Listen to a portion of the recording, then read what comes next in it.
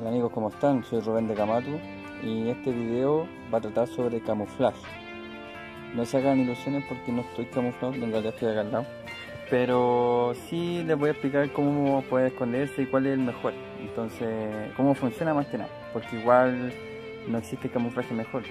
Depende del lugar. Pero les voy a dar una pequeña reseña. Les voy a mostrar unos unos camuflajes que, tengo yo, cómo funcionan y les voy a enseñar a hacer eh, traje Kili. Tres formas diferentes de fabricarse sus trajes Kili. Bueno amigos, en el mercado podemos encontrar un montón de ropa mimetizada que nos va a permitir camuflarnos eh, de diferentes maneras, pero todo depende del lugar donde nos vayamos a esconder. Entonces tenemos por ejemplo el Woodland, eh, en diferentes tipos de tonos, en malla, tenemos el Multicam, el Pixel Camo Digital en verde, zona norte, Acu, tenemos acá eh, Rama eh, y los trajes Gili. Un traje Gili se tiene que fabricar específicamente para un área. Entonces que, te, tengas tú un armario lleno dependiendo de, de, no sé, de a dónde lo vaya a ocupar, es muy complicado. Entonces hay formas de hacer unos más genéricos como el que tengo acá. Y se los voy a enseñar. Eh, les voy a mostrar cómo, cómo operan y haciendo pruebas de, video a ver si los logran encontrar. Volvió la pizarra. Bueno técnicamente el mimetismo lo, lo que busca hacer es romper el patrón.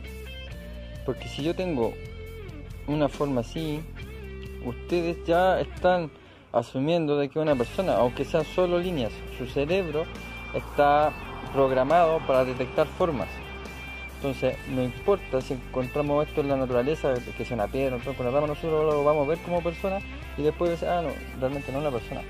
Pero eso hay que romperlo de, de alguna manera.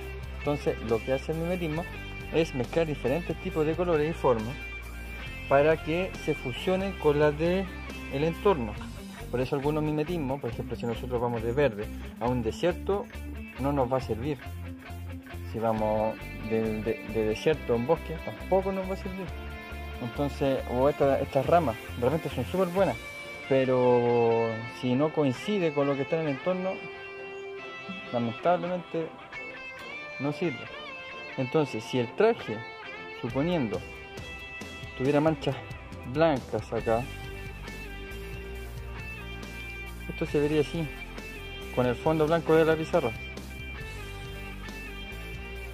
Y ya empezaría a perder la forma que, tenemos, sobre todo si hay un hoyo. Entonces, si fuese el traje blanco completo con un fondo blanco, prácticamente no lo veríamos.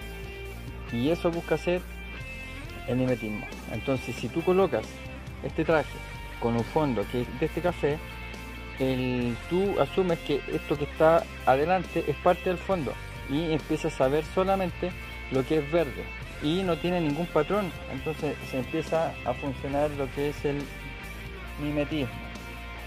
Bajo ese concepto eh, existen diferentes tipos y el más eficiente, que es el traje Gili, lo hace incluso en tercera dimensión porque te sales al frente lo que es el, camuflaje, no es plano, tiene sombra, tiene contraste, y lo que uno busca es romper los patrones. Por ejemplo, si tengo una pierna de un pantalón, que mi mimetismo sea así, acá sea de otro, y, que si yo esto se, no sé, pues se camufla atrás, esto se camufla atrás, que no vea un pantalón a lo mejor va a haber esta parte, esta parte, pero ya no se percibe como un pantalón. Y sobre todo con la, con la forma de, una persona. Entonces, cuando uno ocupa un traje gili, esto se distorsiona totalmente. Y hay casos que es una locura. El mimetismo bien aplicado, realmente una locura, chiquillos, porque es impresionante. Les voy a dejar unas imágenes, pero es.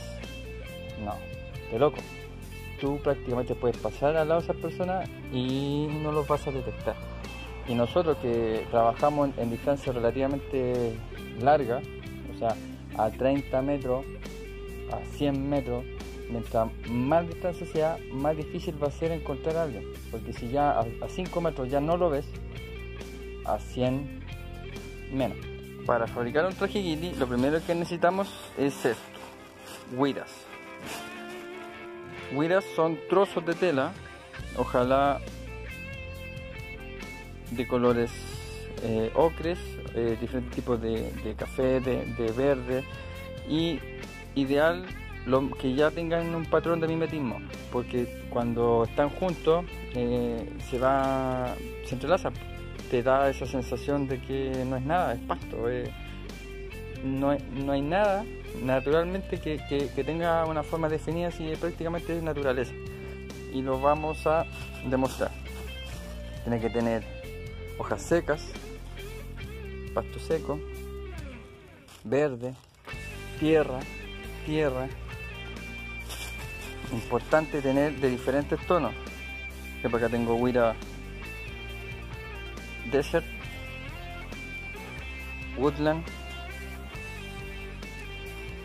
Esta es zona sur, eh, camo digital. Tengo distintos tonos de café claro, café más oscuro, diferentes tonos de amarillo y eso va a ser nuestro material base para hacer un gili. La manera principal de fabricar un gili es tener una malla. Acá está una. Es tener una malla. Voy a ponerlo por la parte de atrás. Este está muy, muy eh, ya denso así que no se va a notar mucho, pero hay una malla acá, ahí se nota. Y esa malla uno va haciendo nudos. Los nudos se van haciendo hacia una misma dirección. Por lo general doble para que no se vayan saliendo. Entonces por la parte de atrás queda así. Pero por el otro lado queda así. Y si nos acercamos acá, a las plantas donde estuve en un inicio se pierde. Ahí se dan cuenta que está mi mano.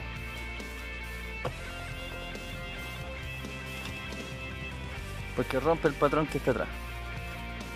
Ahora obviamente si yo llevo esto acá al suelo ridículo se ve igual que si uno se para con la forma eh, de, uno, de un bulto al lado de un árbol también es una ridícula.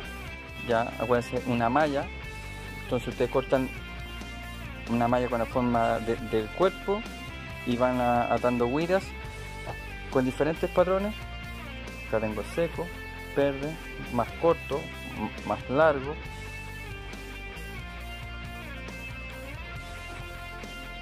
Es para la cabeza.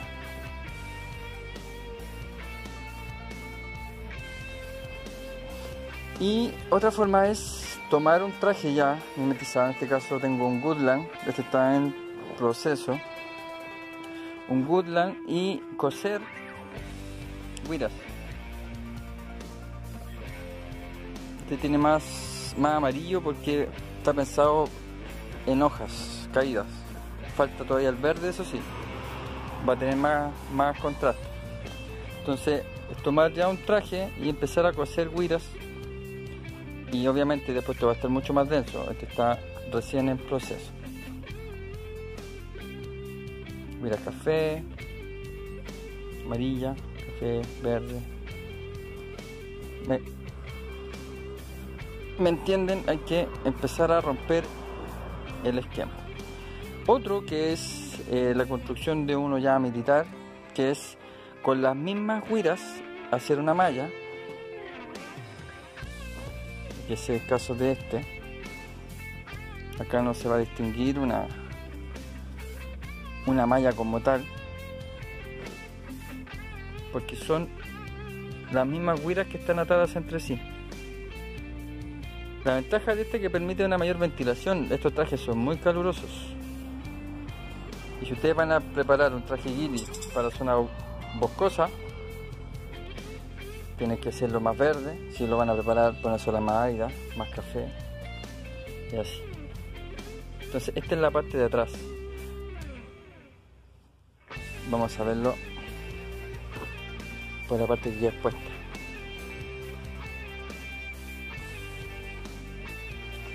Tengo huiras largas, verde, huiras largas, café, huiras cortas, finas, huira amarilla, simulando pasto seco. Todo esto es, esto es una capa. Esta es la parte que va en la espalda y tapa hasta la cintura baja. Está la cabeza y está el cubre pantalón hecho de la misma manera, sin malla, que es como la forma más, más práctica porque no no necesitas tener la malla, que cuesta mucho encontrar, una de pescador que es negra, súper buena, pero mm, le agrega peso. Y estas son más ventiladas, como les decía. Nuestro objetivo va a ser encontrar una pizarra blanca, totalmente blanca. Tienen que encontrarla antes de que yo le indique dónde está. No es de menor tamaño, tiene buen tamaño. Igual te cuando tía. Ya no. La pizarra no. Bien, vamos a colocar a prueba el traje Gilly eh, como camufla la pizarra. Vamos a dirigirme por aquí. Tienen que indicarme, bueno, si ya no la encontraron, están muy lentos porque la pizarra está acá, a plena vista. Está acá.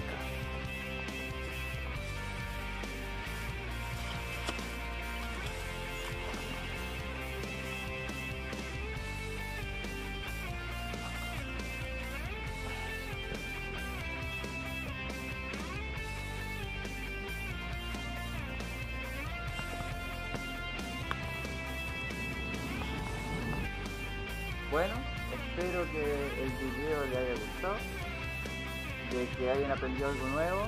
Yo no me considero un youtuber, no lo soy, eh, pero sí me gusta compartir información y espero realmente que les sirva. Así que ojalá lo puedan aplicar y un buen camuflaje muchas veces hace la diferencia de una buena cacería. Cualquier consulta tienen mi número, me lo pueden hacer y, bueno, pero no haber dado tanta lata y que se ha entendido más o menos cómo funcionan estos planes.